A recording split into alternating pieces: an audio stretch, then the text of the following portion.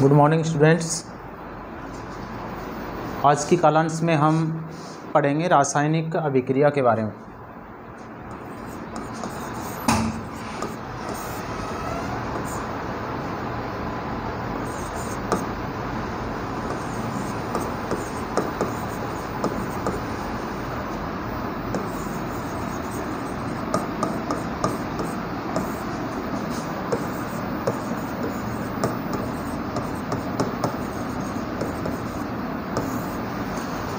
प्यारे विद्यार्थियों, पिछले कालांश में हमने भौतिक और रासायनिक परिवर्तन के बारे में पढ़ लिया था। अब ये जो अपना फ़र्स्ट चैप्टर है, रासायनिक अभिक्रिया समीकरण, इसके जो अगला टॉपिक है, उसके बारे में हम चर्चा करते हैं। तो आज का अपना टॉपिक रहेगा, रासायनिक रासायनिक अभिक्रिया।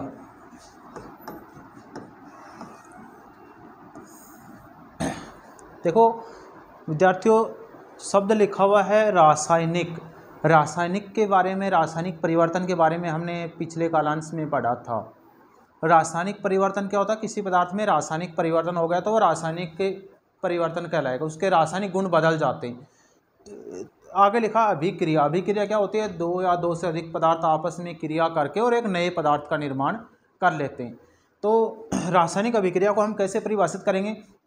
रासायनिक अभिक्रिया को हम इस प्रकार से परिभाषित कर सकते हैं। किसी पदार्थ में रासायनिक परिवर्तन होना ही रासायनिक अभिक्रिया कहलाती है। कोई भी पदार्थ हो, उसमें रासायनिक परिवर्तन हो गया, उसी को हम रासायनिक अभिक्रिया कह सकते हैं। या हम ऐसे कह सकते हैं कि कोई पदार्थ है, उसमें रासायनिक परिवर्तन हो गया, एक नए पदार्थ का निर्माण हो गया तो वही रासायनिक अभिक्रिया है।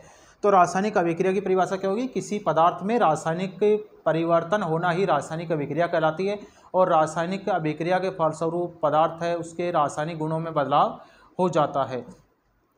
जैसे हम एक इसका उदाहरण लेते हैं। उदाहरण के लिए हम देखते हैं, जिंक धातु है। जिंक धातु की जब सल्फ्यूरिक अम्ल के साथ अभिक्रिया करवाई जाती है, सल्फ्यूरिक अम्ल का विलयन बना के उसके अंदर हम जिंक धातु डालते हैं। तो क्या होगा? थोड़ी देर बाद हम देखते हैं कि जिस बर्तन में बर्तन प्रयोग करते हैं तो हम परख नली काम में लेते हैं परख नली लेके। जैसे उदाहरण के लिए हम देखते हैं, एक परख नली लेते हैं।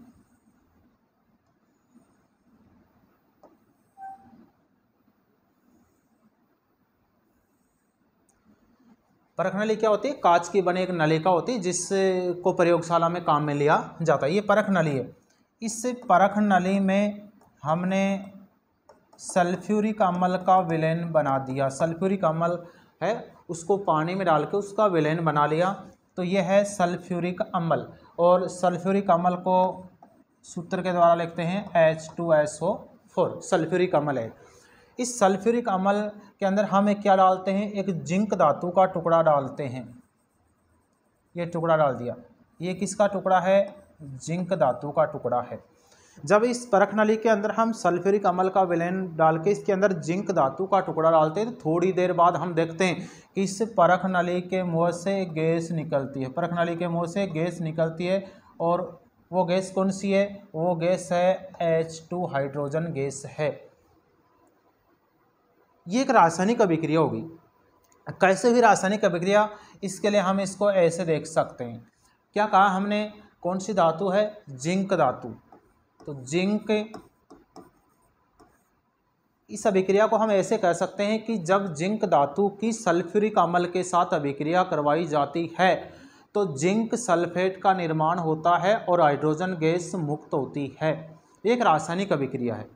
इसको हम कैसे लिखेंगे जिंक प्लस से क्या लिखा है? सल्फ्यूरिक अम्ल सल्फ्यूरिक अम्ल, इन दोनों की क्रिया से क्या बनेगा? Zinc zinc sulphate plus hydrogen gas बनेगी।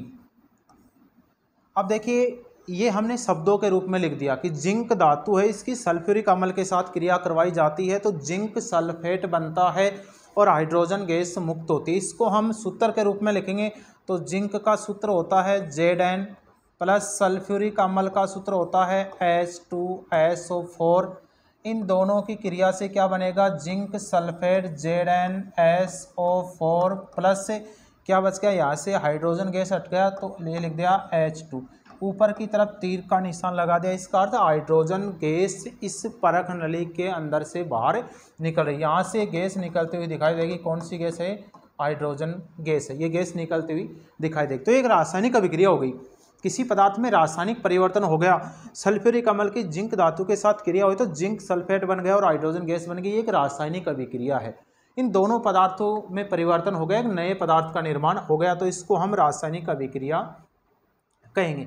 अब देखिए, रासायनिक अभिक्रिया में बाई तरफ़ जो अपने बाएँ हाथ है, उसकी तरफ़ पदार्थ है, दाएँ हाथ की तरफ़ पदार्थ है तो इसको बायां पक्ष कह सकते हैं, इसको दायां पक्ष कह सकते हैं। दोनों के बीच में तीर का निशान लगाया गया है। तो रासायनिक अभिक्रिया में जो बाएँ तरफ़ तीर का निशान है, उसके बाएँ तरफ़ जो पदार्थ है, उनको हमें क्रिया कारक या अभिकारक कहते हैं। क्रिया कारक या अभिकारक कहते हैं। और रासायनिक अभिक्रिया है, उसमें दाई तरफ़ जो पदार्थ है, इनको हम क्या कहते हैं? इनको हम कहेंगे क्रिया, क्रियाफल या इनको उत्पाद कहते हैं। तो देखो, तीर का निशान है, उसके बाएँ तरफ़ जो पदार्थ है, इनको हमने क्रियाकारक या अभिकारक कहा है। क्रियाकारक अभिकारक इनको कहते हैं दाएँ तरफ़ जो पदार्थ है, उनको क्रियाफल या उत्पाद कहते हैं। तो एक रासायनिक अभिक्रिया होगी अब देखिए इसमें हमने लिखा क्रियाकारक या अभिकारक तो आपसे ये पूछ लिया जाए कि क्रियाकारक या अभिकारक किसे कहते हैं? तो हम इसकी परिभाषा कैसे लिखेंगे? तो हम ऐसे कह सकते हैं, रासायनिक अभिक्रिया में भाग लेने वाले, रासायनिक अभिक्रिया में भाग लेने वाले पदार्थों को क्रिया कारक या अभिकारक करें। भाग कौन से ले रहे हैं? देखो, ये दोनों पदार्थ जिंक और सल्फ्यूरिक अम्ल दोनों मिलकर जिंक, सल्फेट और हाइड्रोजन गैस बना रहे हैं। ऐसे याद रख सकते हैं, तीर का निशान है उसके बाईं तरफ़ जो पदार्थ है, वो क्रियाकारक या अभिकारक कहलाएँगे और तीर का निशान है उसके दाई तरफ़ जो पदार्थ है, वो क्रियाफल या उत्पाद कहलाते हैं। तो हम ऐसे कह सकते हैं, रासायनिक अभिक्रिया में भाग लेने वाले पदार्थों को क्रियाकारक या अभिकारक भाग कौन से ले रहे हैं? ये दोनों आपस में भाग लेके, आपस में मिल के नया पदार्थ बना रहे हैं।